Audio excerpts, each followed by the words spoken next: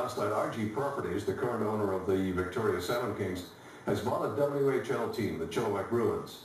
But as the dust settles on this deal, there are many questions tonight on what this means for Victoria hockey fans. CHEK News reporter Kylie Stetton has that story. It's likely one of the last practices on home ice for the Salmon Kings. But these players are focused on playoffs, not politics.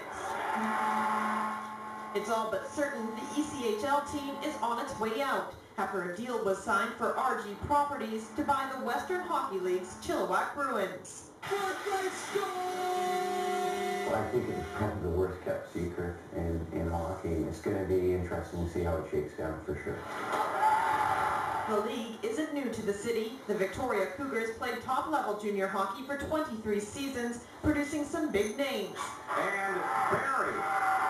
Now that's an interesting pair. It's this kind of excitement the WHL is known for. Players full of heart with their NHL dreams within reach. But it comes at a cost. We are losing something for sure. I mean, um, it's a different, total different style of hockey. I mean, uh, they play like pros. They, they know the game. Uh, they play smarter. There's fewer mistakes. Whereas junior is a step above the BC Hockey League, but the East Coast Hockey League is obviously a step above the Western League for sure. I'm upset. For Daryl Dagno, a Navy officer by day and Salmon Kings fan by night, the news has been tough to take.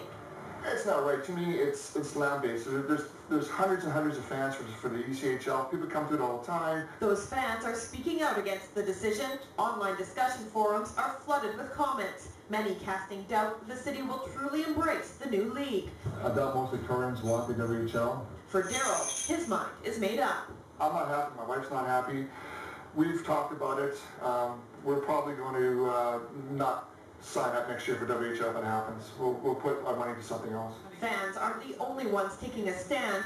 Chilliwack is fighting back as well. We have an excellent fan base here that has supported the team right from the beginning, um, that is just uh, so loyal to the Bruins. And so I think that they're feeling a little hurt, a little disappointed that, you know, they're the last ones to know. The Bruins haven't come out and told us anything. And, and, and that's a concern, you know, because this is a really, it is a hockey town. Details of the deal are still scarce, and it could be some time before an official announcement is made, giving Victoria a chance to get behind this team while it still can. Joins us now, Mike, the Salmon Kings playing tonight. It's likely one of their final games in Victoria. Yeah, I tell you what, Tony, this is a debate that will rage on for several weeks yet. We're not likely to get a formal announcement until after the WHL Board of Governors approves the sale, and that probably won't happen until after the season ends. But either way you look at it, this weekend could mark the final regular season home series for the Salmon Kings.